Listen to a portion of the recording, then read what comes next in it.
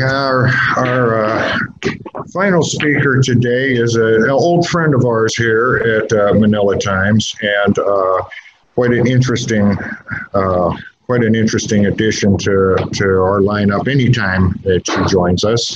Sheila Lobien is the Chief Executive Officer of the Lobien Realty Group and the Chairperson of the Women in Business Committee of the European Chamber of Commerce in the Philippines.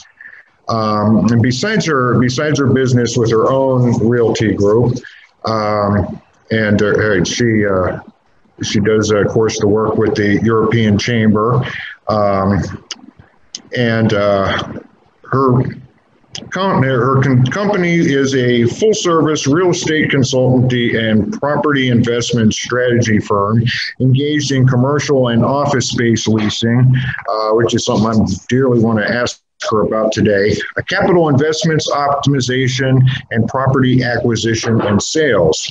And of course, with her work with the European Chamber, she is uh, has a great advocacy for mentoring, networking, and supporting um, women professionals in the Philippines, which is uh, a great service to everyone. Um, prior to her business with her own realty group, she was a regional director and head of project leasing of a Fortune 500 property com- uh, consulting firm that was here. She was also general manager of Regus Manila and one of those who spearheaded Regus' then novel concept of shared and plug and play office spaces in the early 2000s, which have by now uh, become commonplace all over.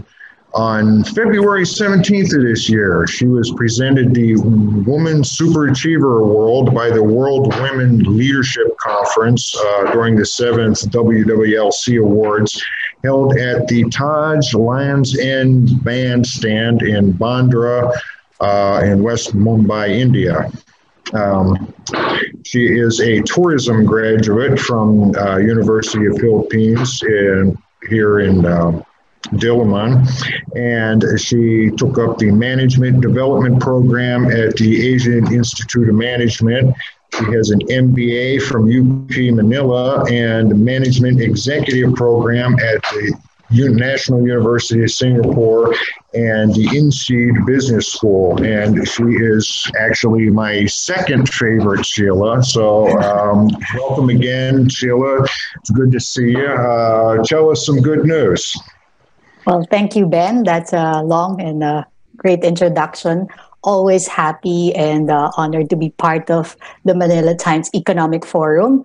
And first of all, I'd like to congratulate my Manila Times family. This is your 122nd uh, anniversary. That's too long, right? So congratulations, everyone. Uh, that um, Clink and of course Ben, Blanca, and the whole Manila Times. Uh, my family. I consider you my family. Let me just uh, pull up my screen first, my slide, before I start my presentation. Okay. Can you see it, Ben? All right. Okay, so when was that? Um, I think early this year, right? Around Feb or March, we had the economic forum, and at that time, we were still able to hold it in a big function room in one of uh, one of the big hotels here in Makati. Today is a different story we're so used to doing webinars left and right. Zoom is part of our life, right? And uh, it's it's the new normal somehow. So uh, today, I'm uh, after what seven months, know, from the the first lockdown. Uh, now we're here and we're somehow ready. The theme right now is you know bounce back, and uh, this is what I'd like to discuss. I'll be sharing with you an update about the property market quickly um, give everyone what's going on in the office market, the residential market. Pleasant surprise there, a lot of uh, good news. Even the, well, Secretary Dominguez earlier mentioned about uh, an increase in the price index and the warehousing, the logistics market brought about by the increase in the e-commerce. Everyone's going digital right now, and uh, somehow that's the brightest spot in the real estate market. So let me start by sharing my first slide.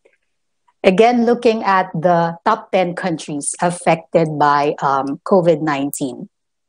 So you'll see that nine out of 10 countries, they're all, uh, well, they will all suffer a negative effect, no?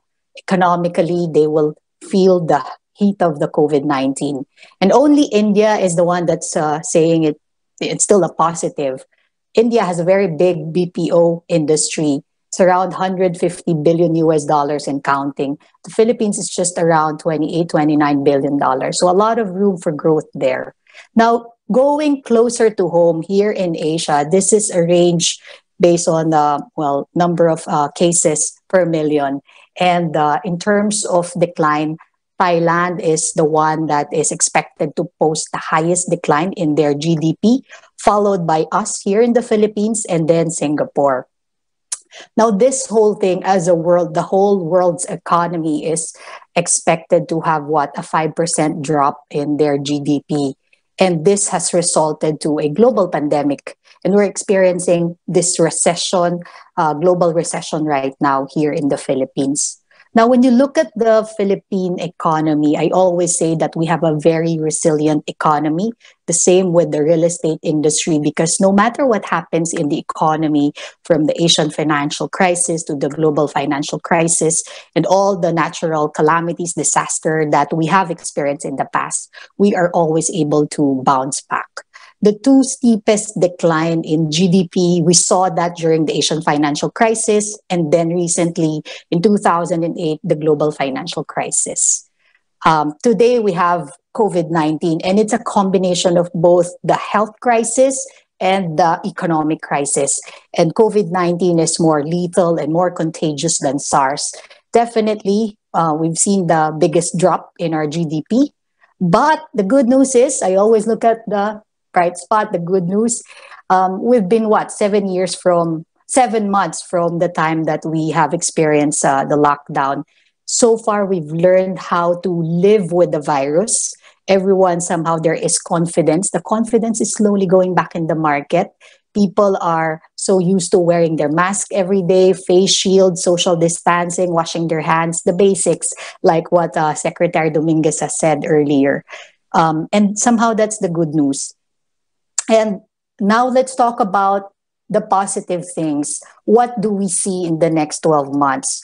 Here are some of the key economic forecasts. So for the next 12 months, this is by uh, from the Trading Economics.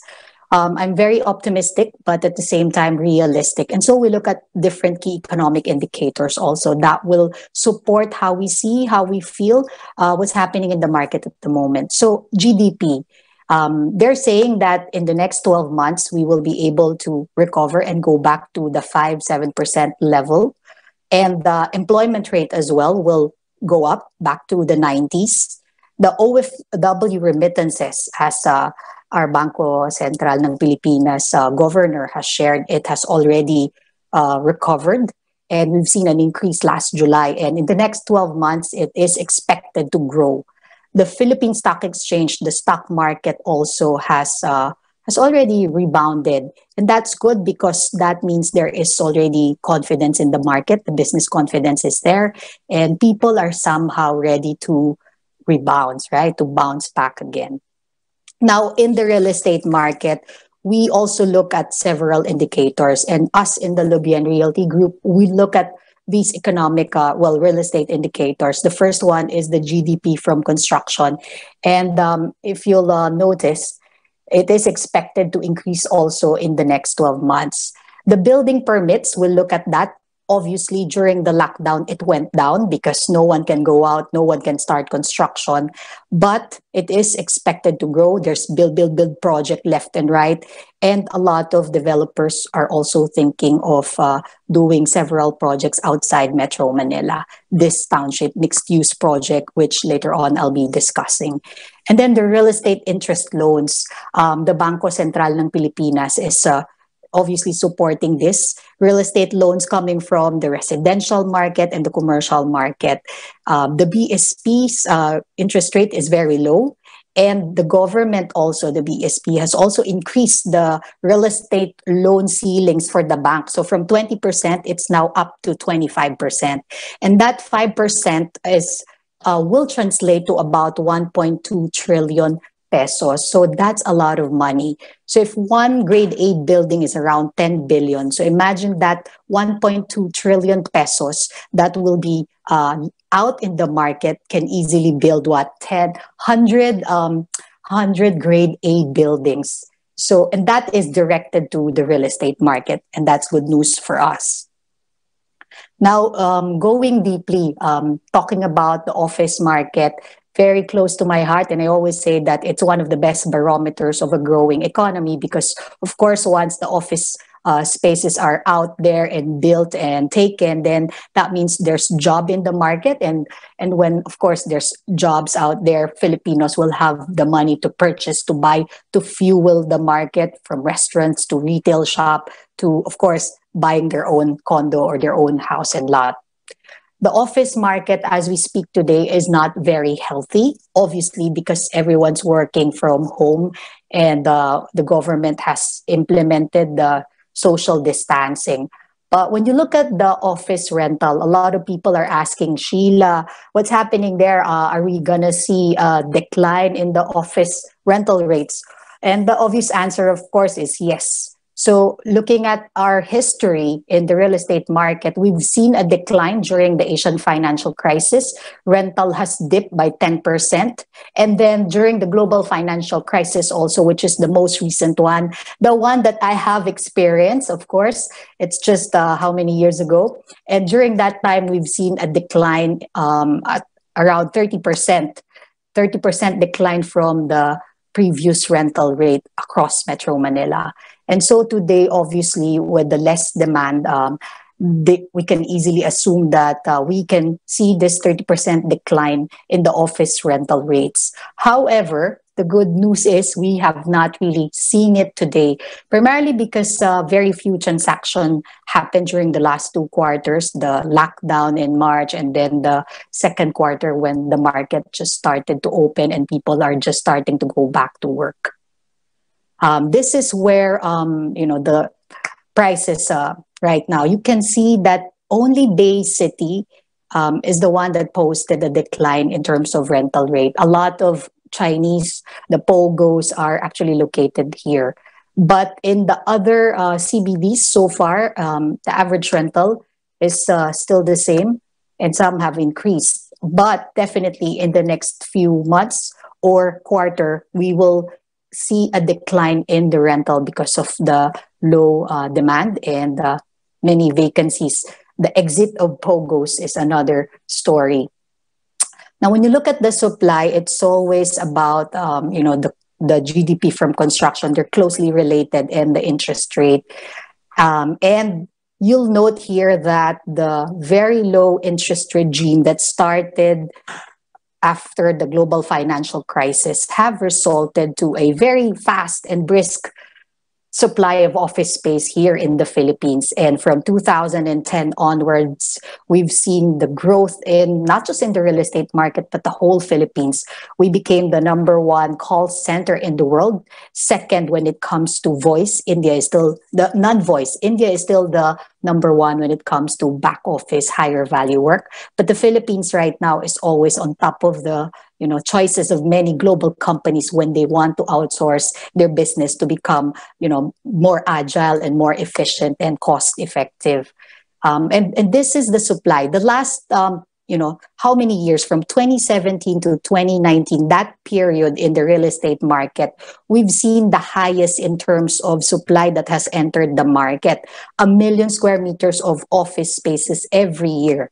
And uh, at that time what was supplied uh, what's was taken and rentals have been increasing. And the last five years we've seen the pogo the chinese gaming and that has fueled not just the office market but the residential the condo market as well. Now um, the next few years uh, hopefully the low interest rate will be able to cushion the impact of covid-19 in the office market. This is where the next few well the next five years another 3 million square meters of office space will enter the market and they'll be coming from Makati, Pasig, and Quezon City. Many developers are doing mixed use office, condo, residential project in one area in all these parts of town. vacancy rate right now it's is at uh, still single digit, 6.4%. Uh, average rent across Metro Manila is at about 1,200 pesos per square, and uh, almost half, more than half of the supply this year were already taken, signed, lease, pre-commit, pre-committed. However, this 6.4% will definitely increase.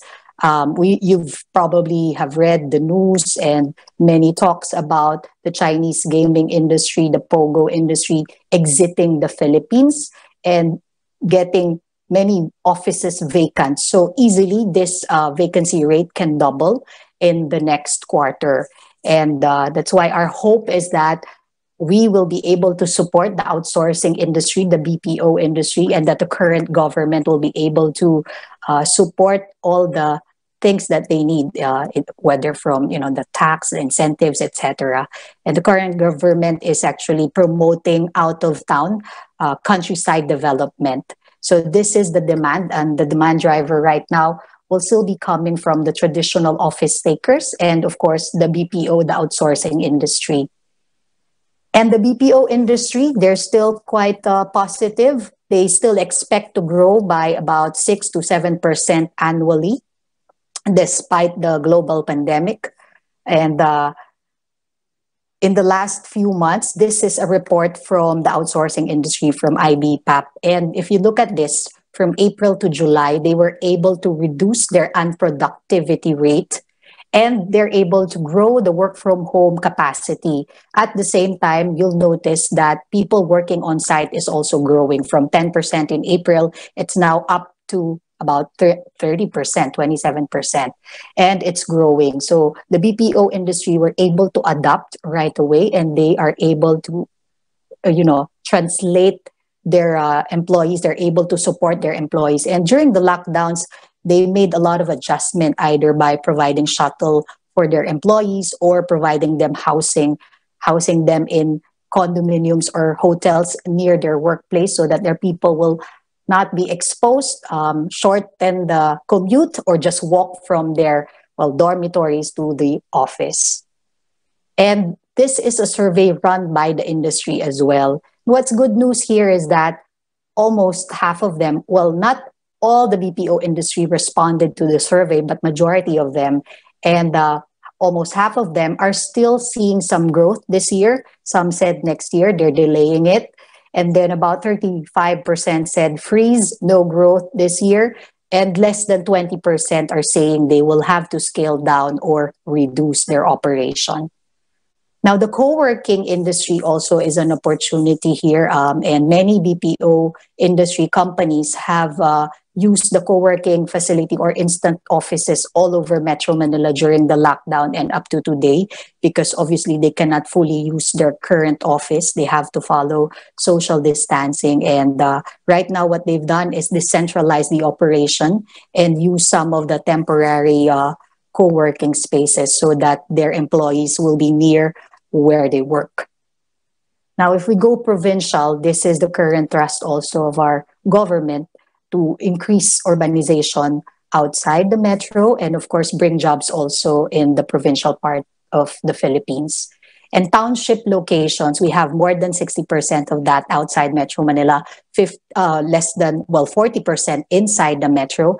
And this is quite, well, this is good. This is somehow to pandemic proof the operation. So you live, work, and play in one area. Everything is walking distance. And all the things that you need can be accessible uh, or can be accessed easily.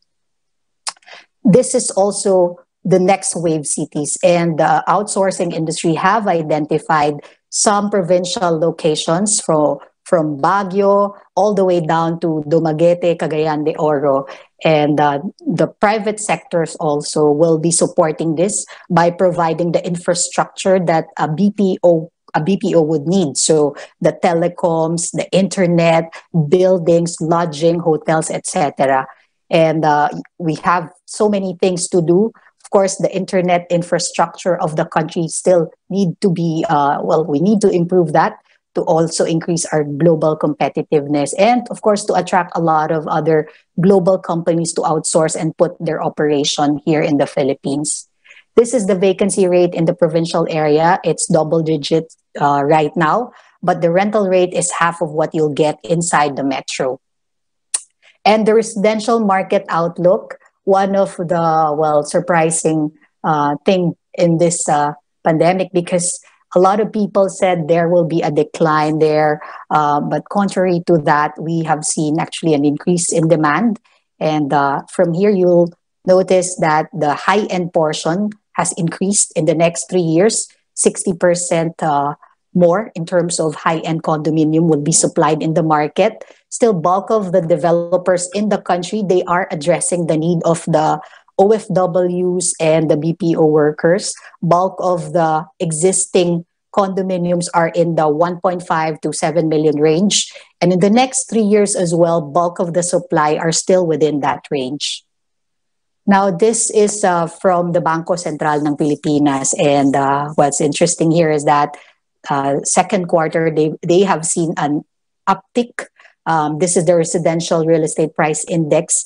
And there was uh, an increase in terms of uh, you know price. And that and those increases came from the single detached houses and the condominium unit.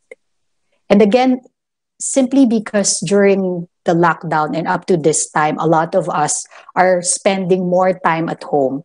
Almost well everyone well 50% are working from home and uh, the kids are doing online schooling. So there is a bigger demand now for house and lot or a bigger condominium for those who can afford uh, a new condominium wherein they have a bigger space more natural light open you know air and uh, more facilities for for them to enjoy. And that's why we share uh, the same well forecast of the trading economics that the next 12 months, there, there will be an increase in the average housing uh, construction cost. That's because of the need of the Filipinos for a, a more, well, higher value, a, well, better uh, type of housing or condominium. And the tourism and hospitality industry, nothing much to say. A lot of them are just surviving right now, trying to either convert their facility or use the rooms as a quarantine site. The current uh, Department of, well, the Department of Tourism is actually pushing domestic travel. And they even run a survey and said, and in that survey, we learned that the majority of the Filipinos are now willing to do domestic travel around the Philippines, and uh, 60% said they will really do so in the next two months. So those are the good news. Even in the tourism industry, we're seeing some uh, recovery already. And the logistics market, I'm saving the best for last because this is the best part of the real estate market right now. It's a thriving industry, and the forecast is almost 9% growth every year for the next five years. It's projected to be a what? 1 trillion market by 2023. Uh, and and we feel that in in our business right now we're very busy helping assisting many of our clients in the warehousing logistics market. And they're growing not just here in metro manila but nearby town. Um, in the nearest would be laguna cavite and then further north bulacan pampanga so, what's fueling uh, the growth in the warehousing and logistics market? Well, obviously, everyone's so used to buying things online. We can buy anything now online from food to plants, right? And uh, the revenue from the e commerce industry is really growing tremendously from what a mere 500 um, million dollars back in 2015 last year i think we've recorded 3 billion us dollars and it is expected to be at a what at 12 billion US dollars in 5 years time. So so much opportunity here. That's why almost all the businesses right now are going digital transforming their business. And even uh, in the retail industry there is now a component of uh, things uh, being online. So in summary in the office market uh, what I'd like to uh, really share is that it's going to be a tenant market in the next probably one or two years because uh, there is a lot of space out there. Demand might be, of course, demand is not that high compared to pre pandemic t- time. Um, definitely, we'll see uh, a lower rental. But if the BPO industry will increase and continue to grow, and I think they will because as company um, emerge from this global crisis, they will obviously find ways to be more agile, be more efficient, and cut on cost. And one way, one of the best way to do that is to outsource none of your core uh, work, none of your core staff. And the Philippines is already in the world stage when it comes to um, being the country to outsource their business. And uh, for the landlords, I think this is the best time for them to take advantage of the low interest regime. To make a building or a condo uh, would take around two to four years. And if you take that um, low interest rate right now and plan on something, your idle land, build build a project there. Then when it's available three or four years down the road, the market has already recovered, and definitely you'll be able to monetize your property. And uh, in the residential market, as I've shared, uh, we we are seeing an increase in demand for the housing, housing, uh, the house and lot, single detached homes, and high end condominiums, low density condominium, and the township um, development. That is a way to pandemic proof uh, and make an arrangement for you know your house is there, your office is in the area, everything that you need is in one location.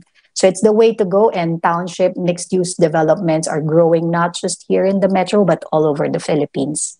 And the warehouse industry, uh, the highest, the thriving industry right now, it's growing primarily because of the, e- the growth in e commerce. And bulk of the action, the transaction, they're still happening within the metro and anywhere near Metro Manila also, as long as it's accessible by land, uh, that that is growing and companies who are involved in retail, e-commerce, fast-moving consumer goods.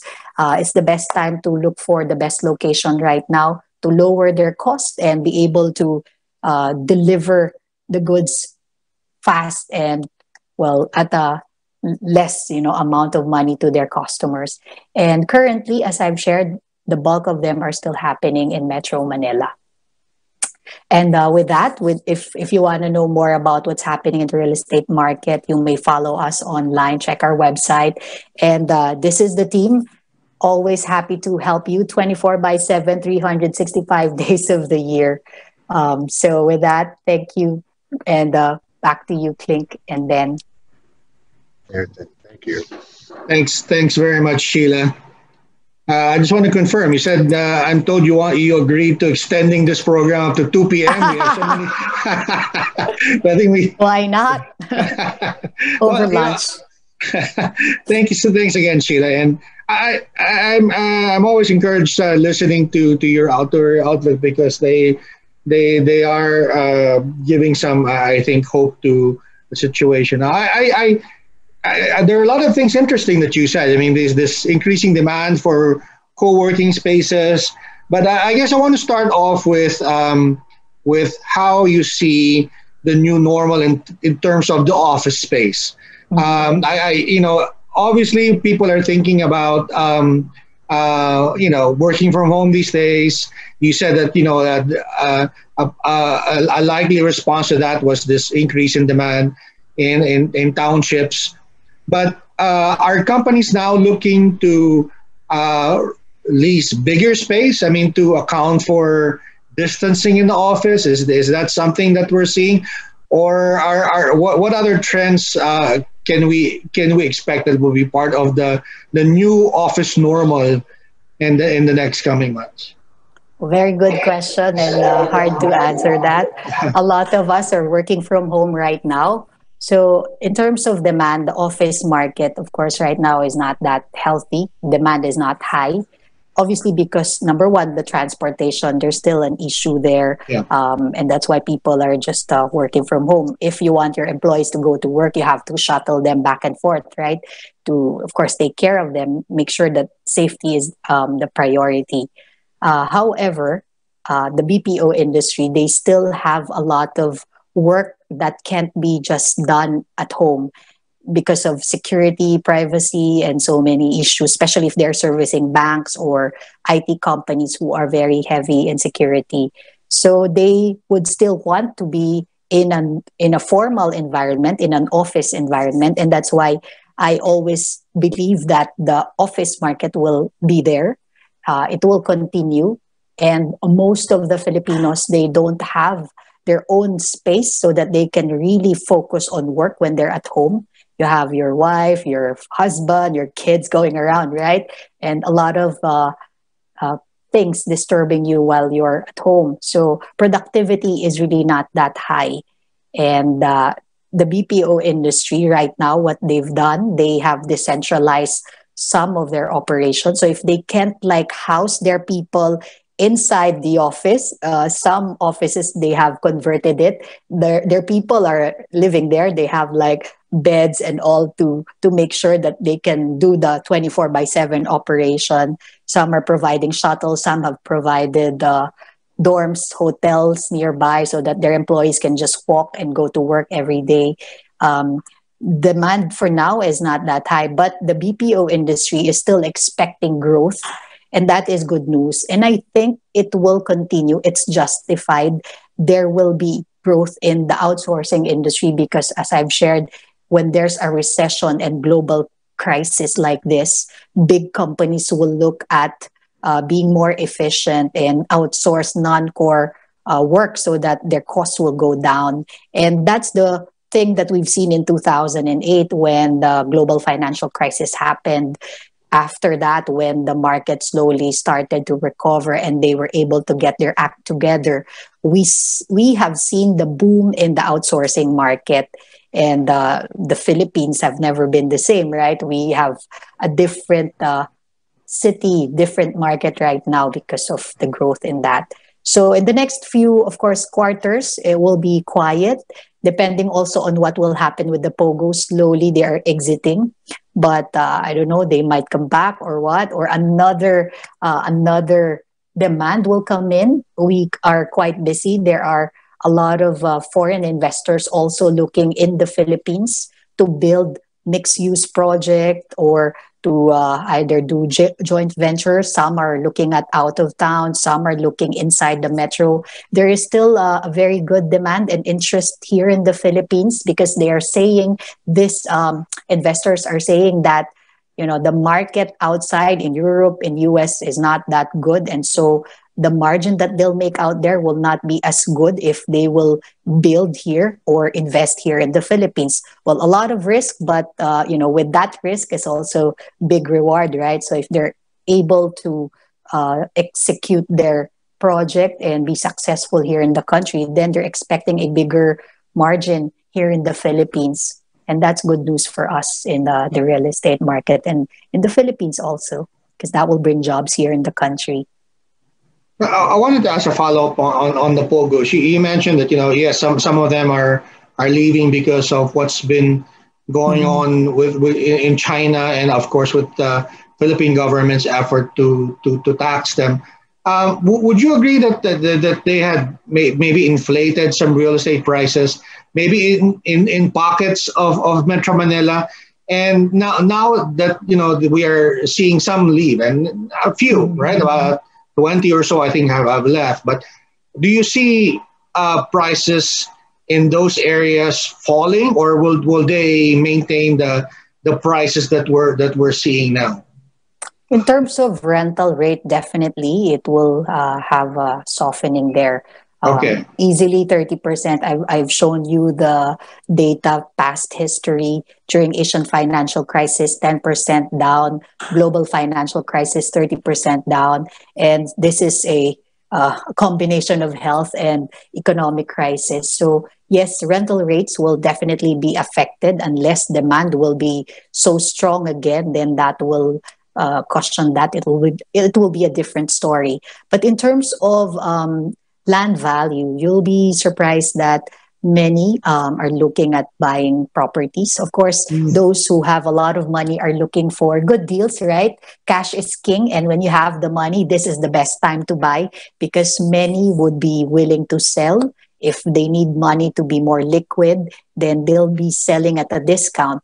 But then land is finite, and uh, that's why land values um, they're constantly increasing over time and condominiums now, um, well, as I've shared, people got, well, not really shocked, but during the lockdown, right, when you're in a small, compact place, it's not really good for your mental health. And so they realized that it's best to have a bigger space or a unit that has a lot of lights, window. You can open it, you can feel better after that, right? Instead of being enclosed in a small space. So, um, so many things there in play, but I think for the rental aspect, yes, we will see uh, a slowdown there because many um, vacant units will be out there.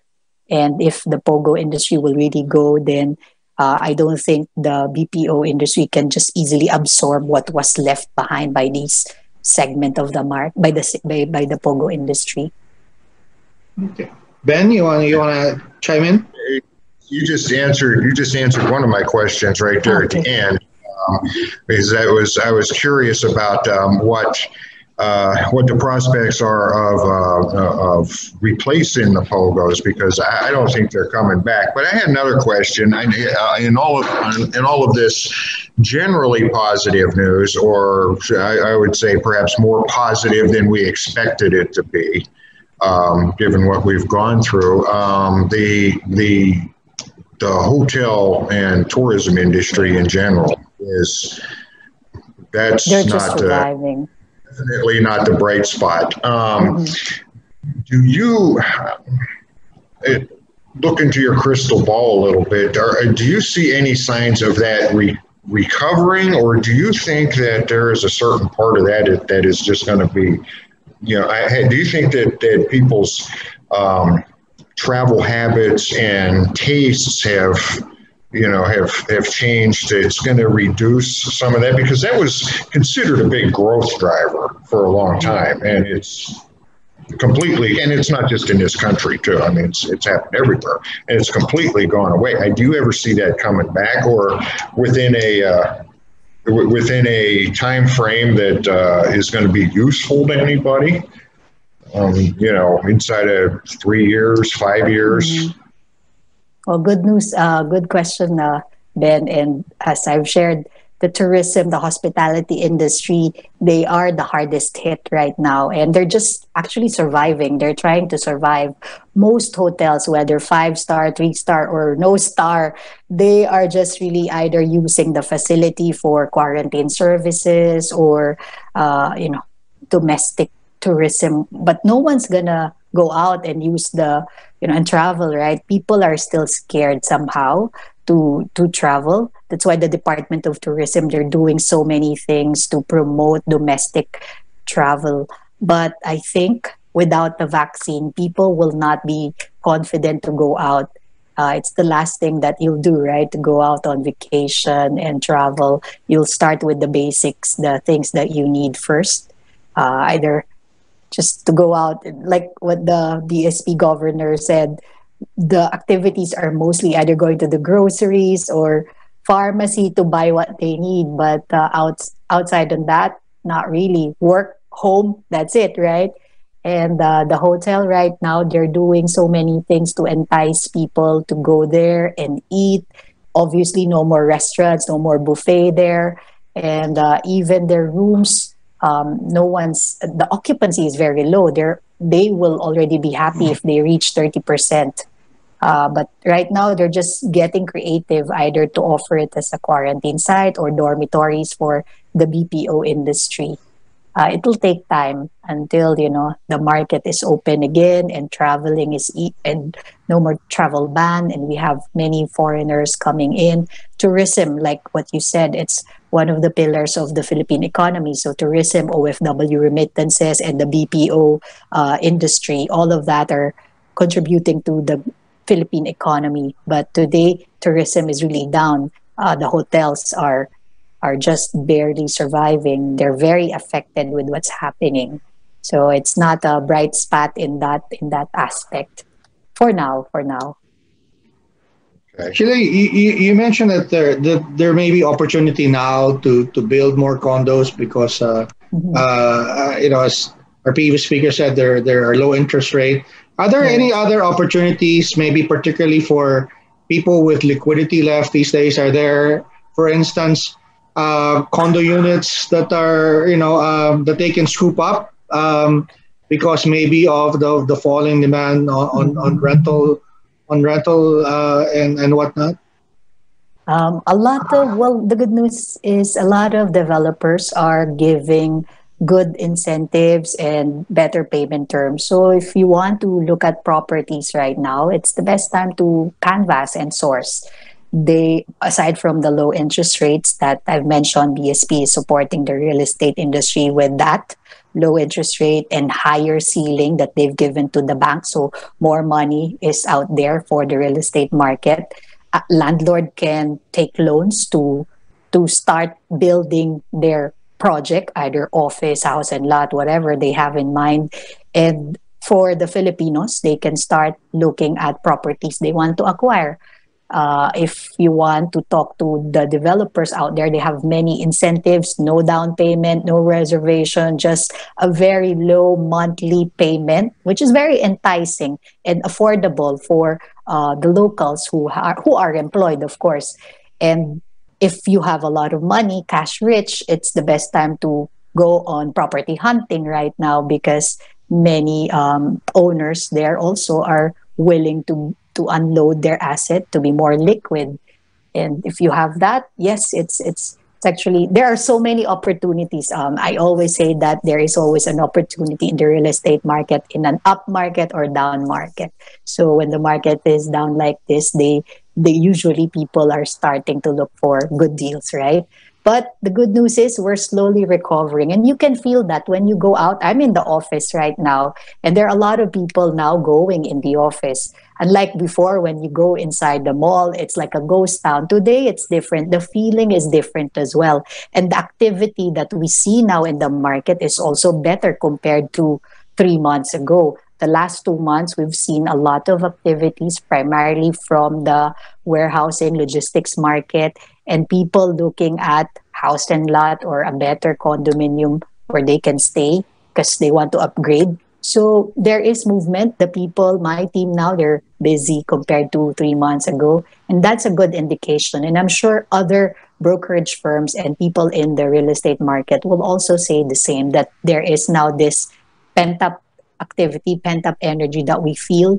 And uh, as I've shared, I can't just uh, tell you the names of these um, investors or foreign groups, but uh, we're busy discussing with them. They're looking at the Philippines either to acquire land or to have a partner.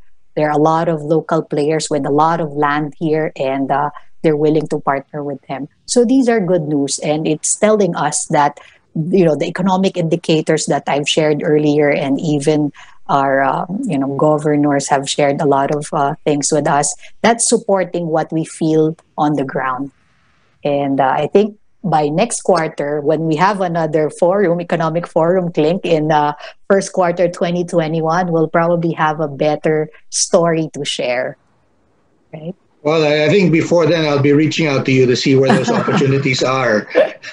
ben, Happy to, to, help uh, you. Um, click anytime. Free. Okay. For free. Thanks. Ben, you want to ask the last question? Um, well, I just uh, I just uh, was curious if um, yeah if uh, you've uh, encountered anything really innovative. And um, we, we, were talking about you know something to replace pogos. Uh, one thing that I've heard uh, in, in, the last few weeks is that there's um, there, there are some uh, companies that are, if they're not looking for a place to locate a BPO, they're looking for places to say locate a data center, um, which would seem to me to fall halfway in between office space and maybe you know the logistics mm-hmm. uh, property. Are, are, we seeing are we seeing any of that? And um, I just uh, one other question that I had real quick is uh, there was early on in the quarantine periods there was talk about uh, things like rent relief, um, you know, rent moratoriums, um, and things like that. Uh, is uh, is that has that caused any any lasting problems for everybody, or have property owners kind of caught up and, and gotten back got their feet back under them again from those real hard months we had a few few months ago. Okay, so um, and the first uh, thing regarding data center, yes, uh, that's another demand. A lot of uh, well, not a lot, but many, a couple of uh, groups have approached us also, and uh, they're looking at the they're looking at putting up a data center here in the Philippines. So maybe that's another source of demand for the next few months. And in terms of uh, rental discounts, etc., as I've shared, it's going to be a tenant's market because of the low demand and higher vacancy. A lot of landlords have given discounts, but it's on a case to case basis depending on, uh, of course, their relationship with their tenant. And today uh, is the best time to talk to your landlords. If you're a tenant, today is the best time to talk to your landlords because they will be more flexible. Uh, but, the, at, at the end of the day, we don't expect that they'll always give you discount because there is a contractual obligation, right? And as a tenant, you have to fulfill that. You can only ask them for some help, but uh, really, they also have obligations. So uh, just talk to the, te- the the landlord, and if they are able to give you some discount, then be grateful for that because everyone is experiencing uh, the hardship of the pandemic, right? There are a lot of good landlords out there, and they're very supportive of their tenants, especially if they know that the tenant has, of course, good potential to stay and their business is okay. They just need to support them for the next few months. So we see that. We see that happening right now.